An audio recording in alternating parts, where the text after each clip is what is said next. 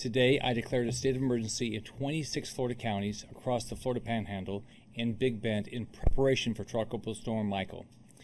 This allows resources to move quickly to every community in the storm's path as we get prepared.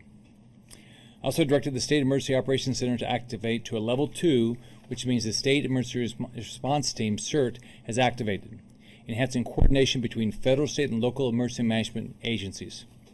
In my direction, the State Emergency Operations, Centers will go to a level one at 7 a.m. tomorrow morning. This storm will be life threatening and extremely dangerous. The National Hurricane Center is expecting to begin issuing tropical storm and hurricane watches tomorrow morning. We're expecting two to four inches of rain, and some areas might see five inches of rain. Tropical Storm Michael will bring dangerous storm surge to many areas, even those outside the path.